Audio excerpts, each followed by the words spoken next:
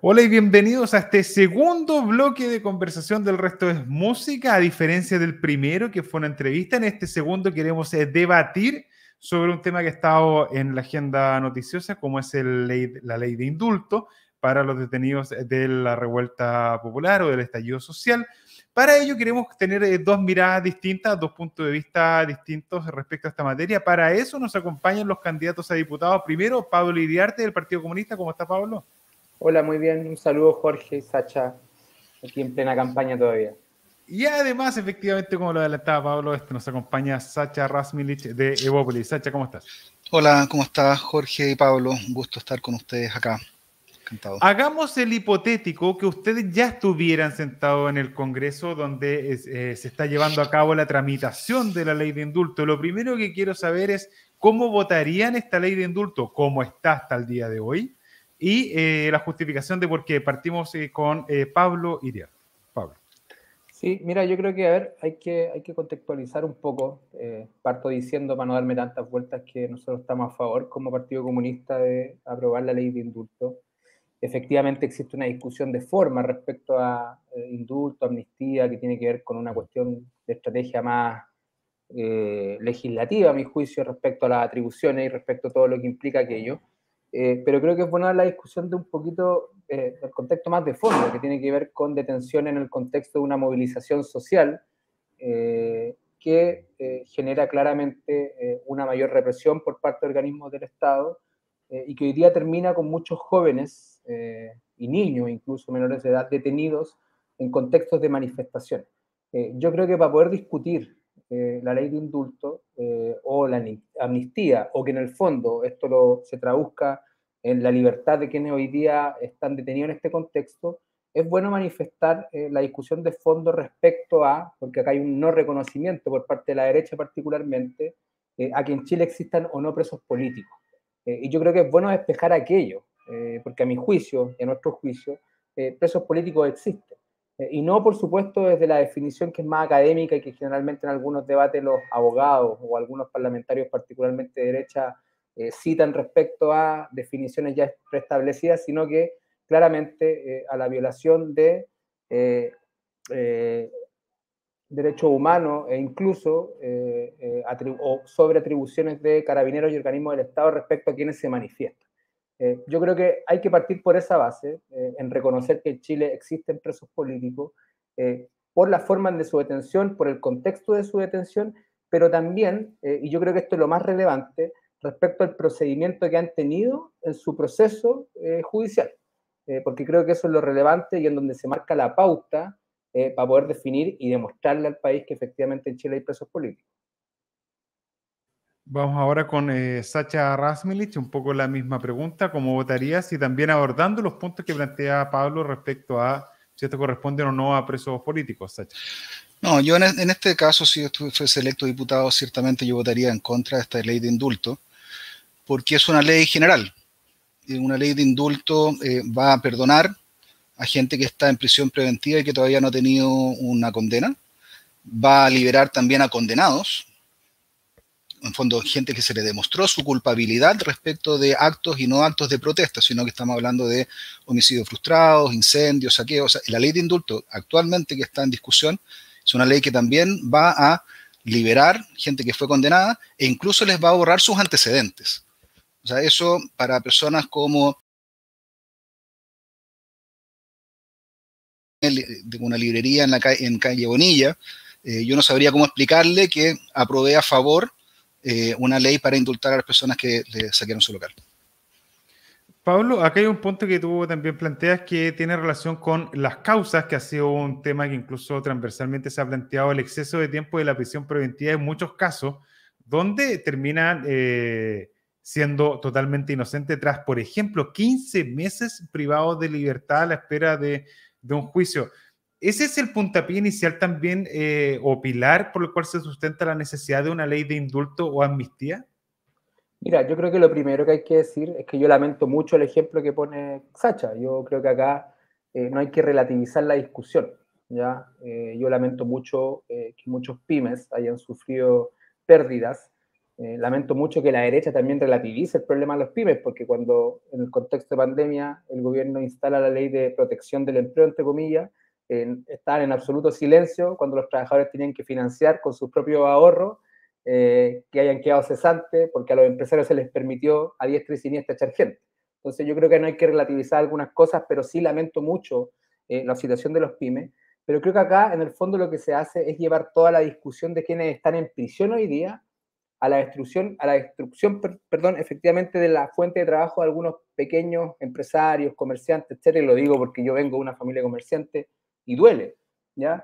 Pero aquí efectivamente nadie se ha hecho responsable por la cantidad de eh, expresos políticos que hoy día han salido, por ejemplo, y que han quedado absueltos, en que el Estado lo ha tenido meses eh, en prisión preventiva. Nadie se ha hecho responsable porque en eso eh, hay estudiantes que han sido excelentes estudiantes, lo digo porque los conozco, y que han tenido que dejar de estudiar y que hasta la fecha no se le ha entregado absolutamente ninguna prueba para decirle que efectivamente realizaron los hechos por los cuales se les está culpando muchos de ellos los que plantea Sacha como ejemplo.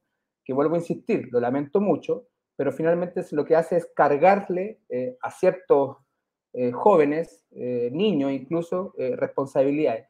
Acá yo creo que no hay que relativizar y no decir que no estamos en contra o que estamos en contra. O sea, yo soy categórico en decir en que no estoy a favor, por supuesto, de la violencia, porque además creo que una discusión mucho más de fondo respecto a la eh, violencia estructural, eh, pero cuando uno empieza a ver las causas eh, y los procedimientos que han tenido, yo no sé si Sacha sabe que a la mayoría de los presos políticos los han ido a buscar, los han ido a, buscar a la casa en la madrugada, lo han golpeado, el relato común de la mayoría es que lo han obligado muchas veces en la madrugada en policía de investigación a firmar declaraciones y que lamentablemente los procedimientos hoy día por parte de la justicia no han sido igual para todos.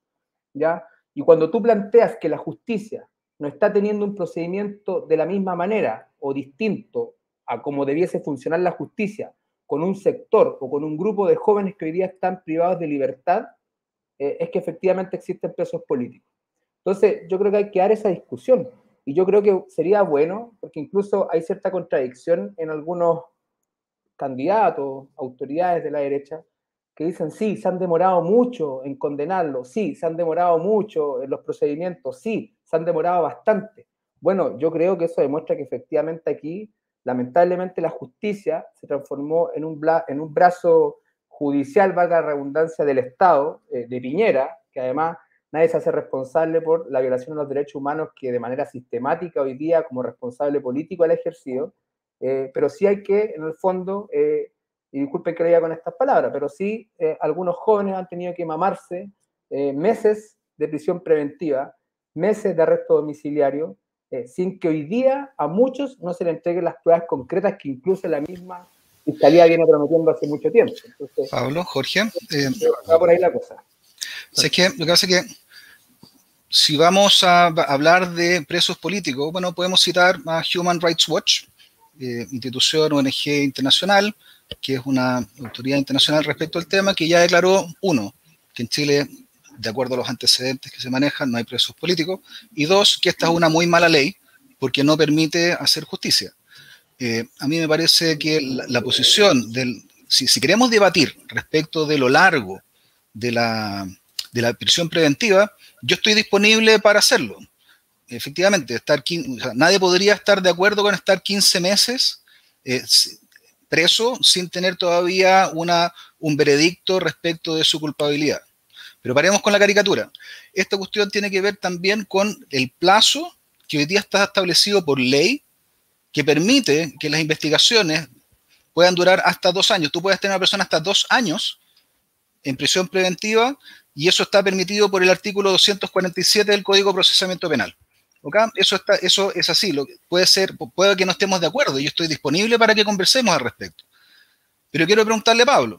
Pablo, el Partido Comunista que tiene parlamentarios, diputada Vallejo, diputada Cariola, diputado Telier, ¿cuántos proyectos de ley han presentado para reducir la duración de la prisión preventiva?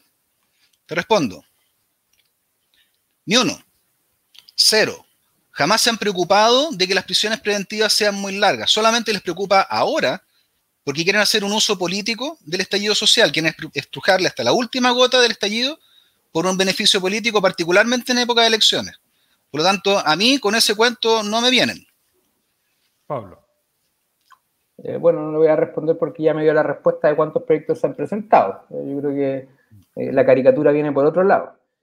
ahora, mira, yo creo que lamentablemente hoy día se está discutiendo un indulto, y lo vuelvo a repetir, porque tiene que ver con una negación también por parte del gobierno de Sacha, que no sé si es Cas o Piñera, no lo tengo claro todavía, respecto a el reconocimiento de los presos políticos. Yo lo vuelvo a repetir. Eh, aquí la estrategia legislativa que hoy día se ha planteado no solamente el Partido Comunista, para que dejemos también de hacer caricaturas, sino que de un sector eh, del Congreso, eh, se plantea como estrategia el indulto por el silencio al no reconocer que hoy día existen presos políticos, porque si no podríamos estar discutiendo de amnistía o podríamos estar discutiendo de otro tipo de voluntades por parte del Estado, por parte del gobierno, respecto a quienes hoy día se encuentran privados de libertad de manera extensa, eh, o quienes incluso eh, costó mucho, Sacha, lamentablemente, que el gobierno reconociera que habían violaciones a los derechos humanos, una mínima parte para poder de alguna forma reparar a quienes perdieron su ojo, por ejemplo. Entonces, yo creo que aquí, eh, lamentablemente, estamos discutiendo un indulto en la medida de la institucionalidad actual. y por lo tanto, a mí me parece bastante positivo Sacha, y lo felicito porque se distingue mucho de sus compañeros de lista o de sus compañeros de su sector, al abrirse a discutir respecto a quienes hoy día están en prisión preventiva y que no han, sido tratados de la misma manera que a otros eh, respecto a eh, eh, los procesos judiciales. Así que yo debo decirlo públicamente que lo reconozco eso, lo felicito, ojalá salga diputado, porque prefiero que salga usted a que salga alguien de la extrema derecha que ni siquiera reconoce que en Chile la justicia trata de igual manera a quienes se han movilizado y quienes hoy día están en prisión preventiva de manera larga, porque yo déjame decirte, hay estudiantes que son excelentes estudiantes, no son delincuentes. Eh, déjame decirte que hay estudiantes universitarios, secundarios, que lamentablemente están privados de libertad y a pesar de no tener ningún antecedente previo, a pesar de haberse movilizado con mucho entusiasmo, eh, con mucha fe, con mucha esperanza en un Chile mejor, lamentablemente cayeron en prisión eh, por organismos del Estado. Y todavía, y yo lo vuelvo a repetir, todavía a muchos no se le muestra ninguna prueba que concretamente los pueda condenar respecto a eh, el por qué están en prisión preventiva. Y con esto cierro, con esto cierro, lamentablemente muchos de ellos han sido absueltos. Yo espero que el Estado se haga responsable de aquello y por último, lamentablemente, eh, la Fiscalía eh, o la justicia utilizó a muchos jóvenes eh, para usarlos como trofeo político, para decir que en Chile se está, entre comillas, controlando la movilización. Yo creo que tenemos que empezar a discutir eso. Pablo, así como bueno, tú mencionas que hay estudiantes excelentes, yo quiero traer a colación el caso de Frido Mastorga. Frido Mastorga estuvo 15 meses en prisión preventiva, hizo una huelga de hambre, para salir de ahí y lo, sacaron, o sea, pasó a tener una, eh, una libertad vigilada. Y al final del proceso terminó siendo condenado por robarle un arma a un carabinero durante el estallido social. Para las personas que no están escuchando, Frida Mastorga tenía siete. Siete condenas, siete procesos previos por robo, por receptación, etc. Esta ley de indulto va a dejar libre a Frido Mastorga. Pablo, en caso de que este personaje, ya con antecedentes previos, llegara a cometer algún otro delito, ¿te vas a hacer cargo tú políticamente de, esa decisión? Es que por eso le digo, Sacha, lo felicito un montón, porque primera vez que discuto con alguien de derecha que está disponible para dar discusiones como la que usted está dando, que es, por ejemplo, que empezó a mirar qué está pasando eh, respecto a quienes están hoy día en prisión eh, por, el, por el contexto de movilización social y que la justicia empiece a trabajar un poquito más rápido eh, y tú estás planteando ejemplos concretos. Entonces, ah. yo podría, yo podría darte ejemplos con nombres y apellidos también, porque los conozco. Eh, Pero eso, la ley de indulto es general. La ley de indulto tú lo vas a dejar salir a todos, limpiando antecedentes de todos. Culpables e inocentes. y eso es, el problema en la ley de indulto. respecto, respecto al proceso, respecto, en el contexto de las detenciones, movilización social, no estamos hablando de que se vayan eh, Desde el 7 de a, octubre. a limpiar los antecedentes. El proceso, un segundo, para separar aguas. Pablo, ¿tú estás de acuerdo con el abanico que hoy presenta el proyecto de indulto que incluye delitos como homicidio frustrado, entre otros? ¿O tú crees que debiera acotarse los delitos a ser indultables? Desde, el 7 de octubre del 2019. disculpa, disculpa, yo tengo casos, es que por eso yo creo que no hay que relativizar, mm. porque hay casos de homicidios frustrados que finalmente no se entregó ninguna prueba respecto a eh, que se haya cometido algún delito respecto a eso. Entonces, la mayoría, ojo, hay muchos de los jóvenes, que incluso algunos han sido absueltos, que los cargos por los cuales fueron imputados y se formalizaron fueron por homicidio frustrado. Pablo, te, pongo, te pongo un caso, el caso de, el caso, para, para, poner un caso concreto de Antofagasta, esta persona que estaba en una barricada, que arroja una bomba molotov al conductor de una camioneta que no quiso retroceder, el cual, hay que decirlo, los propios manifestantes lo toman detenido y lo ponen a disposición de carabineros. Dame un segundo. Pero esa persona que fue condenada por homicidio frustrado, con esta ley de indulto como está, también se vería beneficiado. Es que por eso te estoy planteando. O sea, qué bueno, y yo felicito a Sacha porque estamos disponibles para poder discutir que la justicia trabaje y quienes no han cometido delito alguno y que hoy día están siendo imputados puedan salir en libertad. Estamos hablando entonces de personas que no han cometido delitos. Y yo lo vuelvo a repetir, eh, sí, que no han cometido delitos, que no han cometido delitos, eh, creo que hay una discusión más de fondo respecto a qué significa estar en una movilización, porque la verdad, eh, yo fui estudiante universitario en el 2011 y debo reconocer ante todo el público que quizás he prendido muchas barricadas. No me siento un delincuente por aquello. No, no he tirado mm. molotov nunca. Eh, y he prendido muchas barricadas y no me siento un delincuente por aquello. Mm. De hecho, me siento feliz de haber sido parte de un proceso de movilización que terminó dos años después discutiendo la gratuidad de la educación.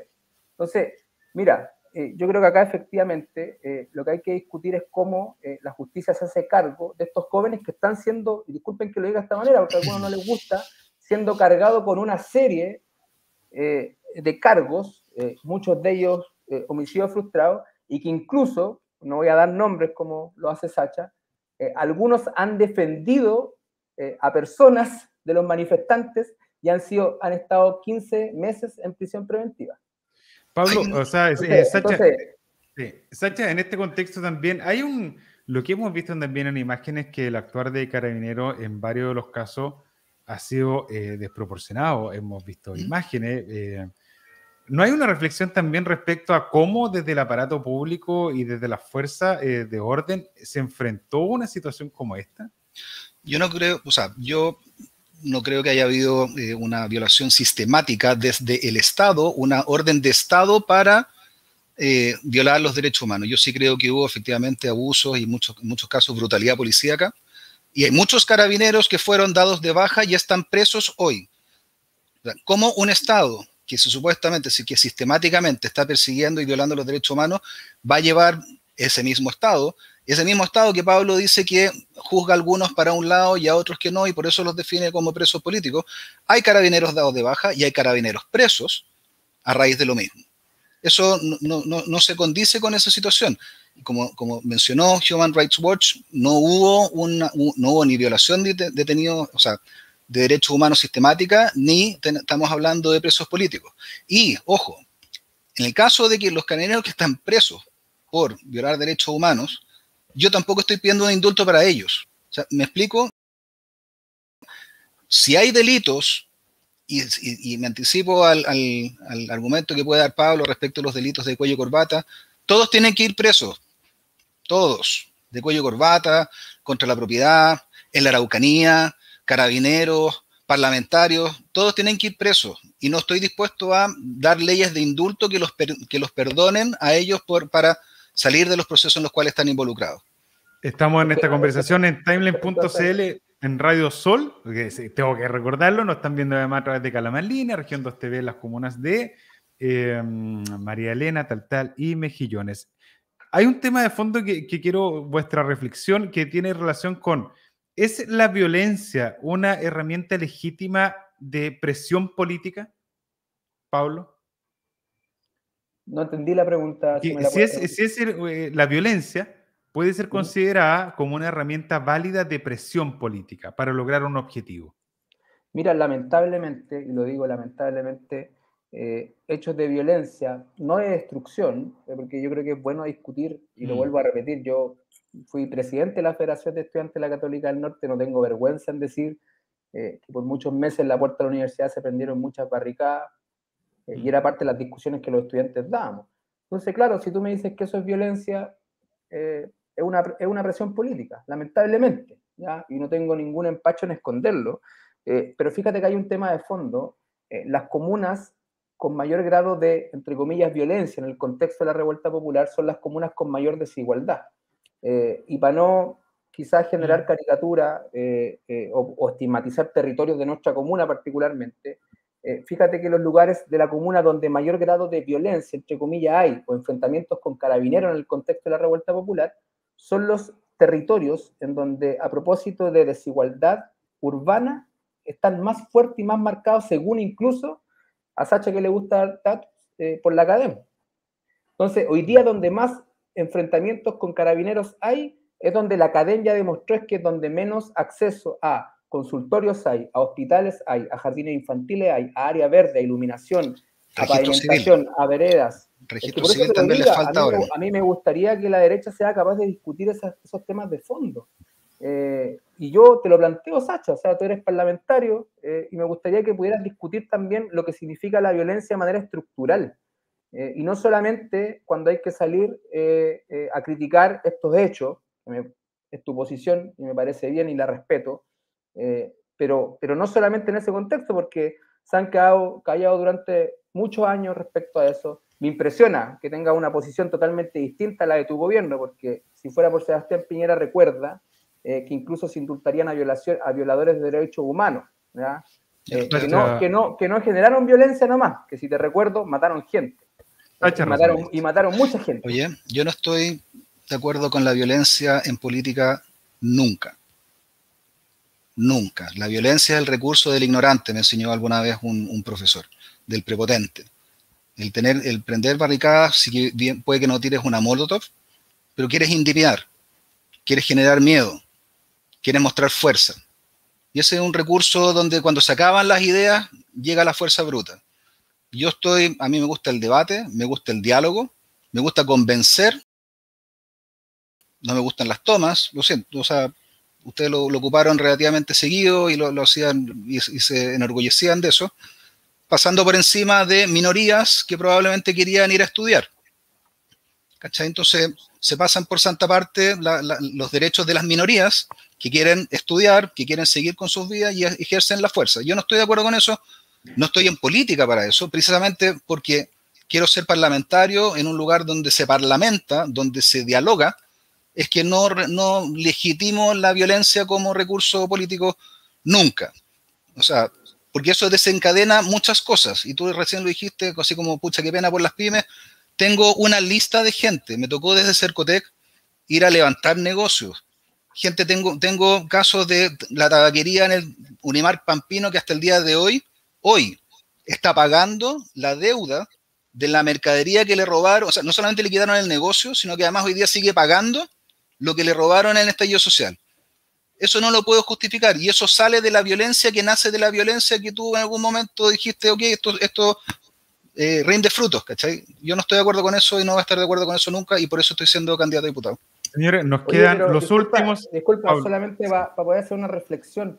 Eh, es que me impresiona mucho de repente eh, la hipocresía, ¿no? no de Sacha, sino que de, tu sector Sacha y que tú lo defiendes eh, con dientes y uñas y con todo, que hoy día de partida se opusieron al cambio de una constitución que, discúlpame, no fue hecha en mesas de diálogo, no fue hecha con pañuelos blancos, fue hecha con sangre, fue hecha con miles de detenidos desaparecidos eh, fue hecha con fusilamiento, eh, fue hecha con pérdidas de padres, madre, hijo, abuelo, eh, y que hoy día usted por mucho tiempo se opusieron a cambiar. Entonces yo creo que tienen que ponerse de acuerdo, porque si no creen en la violencia como método de presión política, yo creo que tienen que darle explicaciones a todo Chile de cómo lograron construir la constitución que hoy día nos rige y que por mucho tiempo defendieron. Y discúlpame que lo diga de esta manera, pero yo creo que acá eh, no hay que ser populista también para plantear los procesos políticos y sociales que históricamente en el mundo se han vivido, Sacha. Entonces, te, recomiendo, te recomiendo que reflexionemos un poquito más a fondo. Tanto, no, no me llega, no me llega a mí. Yo, yo y mi partido de Ópoli participamos del proceso constituyente de HL2 eh, y estuvimos a favor de, la prueba en este caso, así que Señores, no me llega ese combo. ya pasó el término, estamos, ya llegamos al término de este espacio, pasaron volando los 25 eh, minutos que tenemos en esta radio. Eh, quiero agradecer a Pablo por habernos acompañado en este ejercicio y también a Sacha Rasmilich. Así que muchas gracias por haber participado. gracias a usted. Gracias, Jorge y Pablo, que estén muy bien. Chao, Sacha. nos vemos volanteando, Pablito. Van a estar volanteando los candidatos. Nosotros nos despedimos del programa de hoy, así que muchas gracias por habernos acompañado durante esta jornada de hoy. Nosotros nos reencontramos la próxima semana acá en El Resto es Música. Adiós.